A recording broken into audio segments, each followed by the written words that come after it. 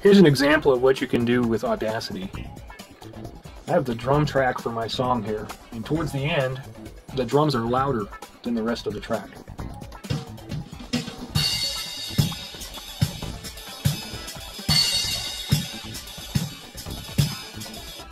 And you can see if you click on the plus magnifier here, you can zoom in.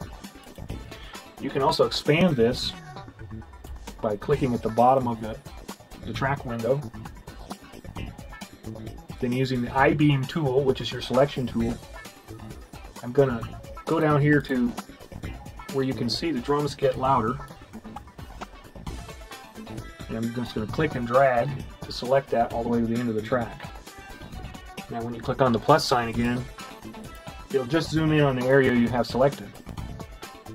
And you can see I didn't quite get it here. You can tell where the loud part begins. So if you hold your mouse right next to that gray line, be careful, and just nudge it right over.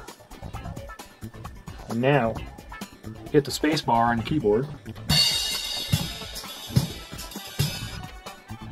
That will stop and start play on whatever you have selected.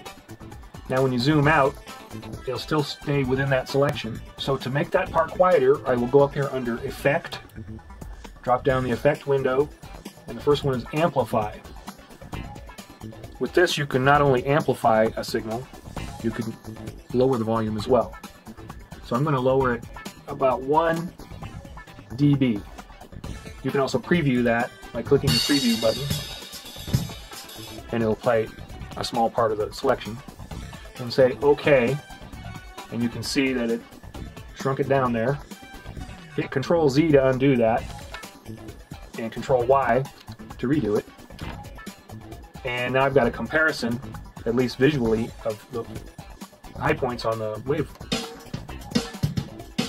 And when it comes into the part that's too much louder,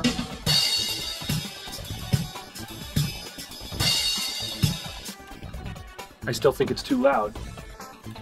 No problem, I'll just select it again, zoom in, my selection so I know I'm tight on that, and then go under Effect and Repeat Amplify. You can also use Control R and repeat any effect that you have used. I'm making just that part of the sound quieter. I want it to match up with the volume of this stuff here. Now play it in comparison. Much better.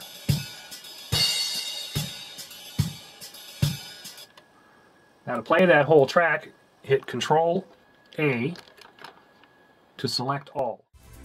And here's another thing you can do is just grab a loop out of a already recorded file. Say you want to create a drum loop. Try to find some hit points that look like they might work. And what you do is uh, hold down the shift key while you press the play button.